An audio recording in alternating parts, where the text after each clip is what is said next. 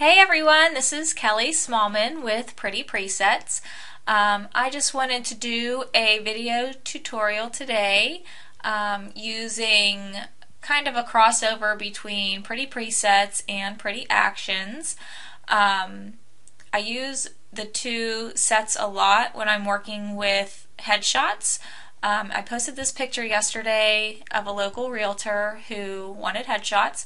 So, of course, I want to make her look as beautiful as she wants to look, uh, since her face will be all over the place on her business cards, on her yard signs, on social media, um, all that good stuff. Um, before I start, I do want to say um, even though I'm using the preset Juniper, which I use like all the time, um, you can still use my my thought process with any preset that Pretty Presets offers as far as um, tweaking the presets so that your white balance looks okay on your photo. So I don't want you to be steered away. If Juniper isn't your jam, then you know you could still watch the video and use the techniques for other presets. Okay, so first what I would do is I go over to my brushes, which is right here, and I use my Skin Smooth brush from the Perfect Portrait brush set. And I just smooth it on her face, just like so. Um, and then I also come down and just do her arm real quick. Um, just so that her skin matches each other. You don't want her face to be super smooth and then look down and see that her arms are blotchy or whatever. Um, excuse me. So after her face is done, I can simply click this new button to choose a new brush. The next brush that I'm going to use is the Catchlights for, for her eyes. I come over here, I click the fill button, to zoom in.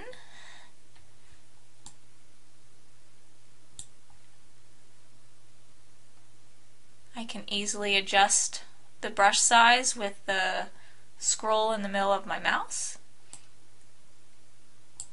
And I just go over her pupils ever so lightly.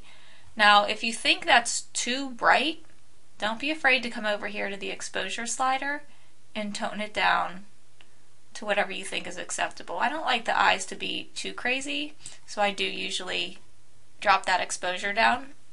I just like it to have a little extra sparkle. Okay, so on her particularly, I added an extra step with her eyes, so I click New, and I chose the eye color blue from the portrait brush set as well and I came over and just enhanced her blues just a little bit.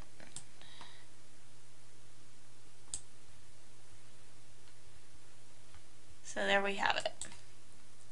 And for now, I'm done with the brushes because I already know in my head I'm going back over to Photoshop. Um, and sometimes the skin smoothing brush in the action set um, is a little stronger than the one in Lightroom, especially after I go in and here I am, I'm pointing at the screen like you guys can see me. I'm sorry, because I'm going to go in and remove some of these blemishes in actions. We'll get to that later. Okay, so I go back up and I fit my image to the screen. I click Juniper. It's going to enhance all the blue eyes that I just did. It's going to enhance her skin color, um, the background, her dress, all of that. Okay, so she looks pretty orange. She is not going to like that. I don't like it either. So I come over to my temperature and I scoot down um, to the blue. As you can see, that took away a lot of the orange tone. So I'm just going to show you before doing that, where I think a lot of people, I get so many messages and comments on Juniper making your images look orange. So here's the fix. Just go over to the temp and scoot down towards blue. And it's going to make it a much cooler look. if that's not enough, where for me right now that is, you can come down to the orange um, color slider and you can use your saturation to you know saturate or desaturate the orange um, if that wasn't enough. And after doing that I decided I'm just gonna put that up towards yellow just a teeny tad. Okay. So there I have it in Lightroom. Um, super easy and she looks great. Um, but since this is a headshot and this is very important to her, I'm going to take it over to actions because I work a lot better um, in Photoshop for all these flyaway hairs and the um, blemish touch-up. So I'm going to export her. And after exporting, I'm going to take her over to Photoshop. And you guys, I'm running off CS5. I'm not running off of something crazy. Um, I know that a lot of you probably think you need the newest and whatnot, but I don't. I just work off of that. Oh, there's one of her other photos. Okay, so there she is. Now I'm in Photoshop where it's very intimidating. Photoshop, when I first started it, super scary. But I learned the basics and I use that to my advantage um, when just doing these simple things. So first I'm going to come over here to the Band-Aid tool and I always choose Spot Healing Brush just so you know which one I'm using for the newer Photoshop people out there. And I'm going to zoom in, which the shortcut, which I always use, is Control and the plus sign to zoom in. And if I hit the space bar down, I can drag the photo down to where I'm trying to um, focus on. So I'm just going to simply click all of these little spots that I think should go away. I will mention she doesn't have freckles, but I will mention whenever people have freckles, I don't usually take away their freckles um, unless it's on myself because I don't love my freckles. But I'm just going to sit here and just click away until I feel like I've gotten them all. And I always tell people, just a little side note when I'm doing this, I said they would be mortified if they knew how close I got to their skin, right? I mean, she was oops, if she was sitting next to me right now, she'd probably be like, "What?" No one wants to see their face that close. And then I'm just scrolling down, I'm pressing the space bar and scrolling down. I'm just getting all of these little lint pieces off of her dress. Um, just making sure that everything looks good. And then I'm going to control with the minus sign to scroll back out. And I see a little spot on this column here that I'm going to get rid of. And that's my easiest way um, to get rid of blemishes. I don't love to do it in Lightroom. I love Lightroom. Lightroom is my hero, but for blemish removal, it's not my favorite. I usually come over here and just do that spot healing really quick. Okay, so I have my Pretty Actions Pro Skin Smoother, and that is, I moved it up here um, to my mostly used presets, but it is in, uh, it's in the retouch set. I know you can't really read it there, but it is there. I just moved that up to the top. I select it. And I'm going up here, I'm going to put the opacity around 75%. I can always change that over here later if I think it's too much. I'm going to make my brush bigger by um, using my bracket shortcut key. I'll actually have to look up the specific name of that because I actually don't know what that key is. It is a bracket. Making the brush bigger and smaller are the two keys next to the letter P. I know, I'm so very technical over here in the Smallman house. Okay. So it just smoothed her skin just a little bit more. And I can click on and off. You probably, through this video, can't even see the difference, but there is a perfect amount of skin smoothing difference between those two.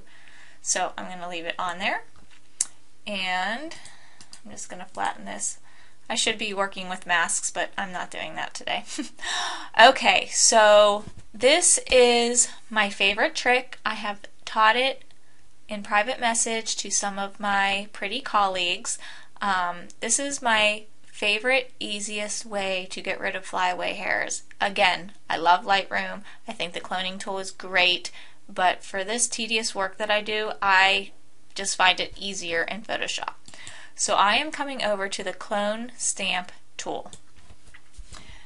And what I'm doing is being really picky up here about these little flyaway hairs. Okay. So what I do is I think that this brush size is plenty for what I'm doing. I pick a section of the photo which is just right above the flyaway hairs that have no flyaway hairs. It's going to match that section quite nicely. And I'm going to press down the Alt key and I am going to left click my mouse which means I am selecting this area right here to copy and then I'm going to come down here I'm going to left click my mouse and I'm just going to basically paint away those flyaway hairs. And they're gone. How easy was that? Okay, so now I need to select a new part of the photo to clone for these hairs that are over here. So I'm just coming directly across because I want it to match. I'm pressing down the Alt key. I am left clicking my mouse to select that. I'm lifting up on the keys, then I'm scooting over I am left clicking and I am painting away those flyaway hairs. That is going to be the easiest way that I do this. Now let's just say for instance this hair right here is annoying her. It's not annoying me. I'm just doing this for fun. I can easily alt click this part of her dress and then come up here and get rid of all those little straggly hairs. Just like that. Okay. So now I've used Lightroom and Photoshop. I used um, the Sugar and Spice collection for the preset Juniper. I used the Perfect Portrait brush set for um, her face and her eyes in Lightroom. Then I scooted over to Photoshop and I used the Pretty Actions Retouch and Makeup set with the Skin Smoother um, and then I used the clone stamp to clone away those flyaway hairs. And I also used the spot healing tool for her blemishes that were so very tiny. Um, she had great skin, by the way. Um, but this is great also for teenagers, preteens, anybody that has, you know, bad skin. Okay, so this is kind of crazy. She did not like her arm down here. Um, so I'm going to just squeeze that in a little bit with a liquify tool. So I'm going to come up here to filter and liquify. And this is standard on Photoshop. This is not a preset or an action, I should say, for Photoshop. Okay, so I'm choosing the um, warp tool right here. And I'm going to make my brush just a little bit bigger and I'm just going to push in her arm the tiniest bit because I didn't see anything wrong with it to begin with, but it straightened it out for her, makes her happy. she's happy, I'm happy. She's the one paying me. Okay. So there's the before and there's the after. You can see it's ever so slight but that's what I did. And this is the photo that I posted on uh, Pretty Presets yesterday. So I'd love to hear your comments, questions, anything like that. Um, just feel free to write them in the comments and I'll get back to you. um, periodically through the evening, tomorrow, whenever. Um, I hope you guys enjoyed it, and um, hopefully, I'm hoping, fingers crossed, that a lot of you that have been freezing lately are getting some warmer weather today in February. So, again, thank you, and I look forward to seeing you online. Bye.